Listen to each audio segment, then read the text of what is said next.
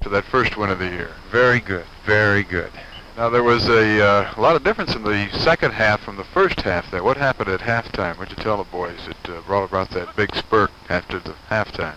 Well, I don't think it was very complimentary. Uh, they, uh, it wasn't so much of what we said, but uh, how the boys felt. Uh, they were discouraged with themselves. They felt that they had done poorly, uh, even though we were leading seven to six, and uh, we came out in the second half. We started doing things right, and our first play from scrimmage, we ran uh, 58 yards for a touchdown.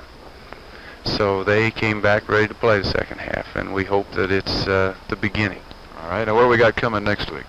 We have a very fine ball club, uh, John Moses at Tipton, and uh, they lost their first ball game last Friday night.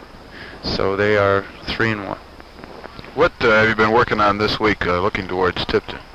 Well, they are a fine executing ball club. They do things well. They don't do many things, but uh, by that I mean a variety of things. They, uh, but what they do, they do well, and we're trying to get our defensive uh, alignment and with our own offensive execution this week. Uh, I think maybe last week we spent a little too much on defense, and uh, our timing was poor the first half, and then uh, after a while we got back pretty well. So we're working mainly on timing this week.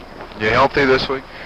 Uh, well, as far as the ball game from Friday night, we're healthy. Uh, though last Thursday night we found out that one of our starting halfbacks had a broken hand that he'd had for two weeks, and uh, uh, it was more or less what we considered a bruise, and he went and he had a slight fracture in his hand, and he'll be out for about three more weeks. So, uh, other than that, we're fairly healthy. We've had the same run-of-the-mill bad colds and flu that everybody has, but uh, other than that, injury-wise, we're pretty well fixed. Okay. Good luck to you.